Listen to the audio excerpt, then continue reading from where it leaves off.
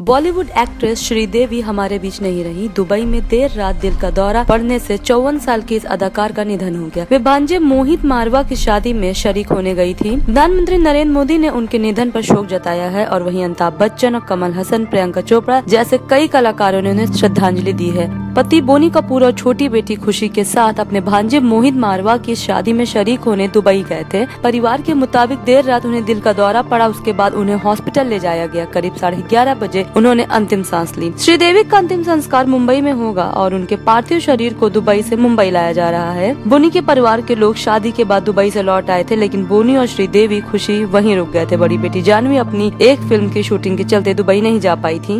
आपको बता दें कि श्रीदेवी का असली नाम श्री अम्मा यांगर अयापन था। आपको बता दें कि श्रीदेवी जोली फ़िल्म से डेब्यू की थी।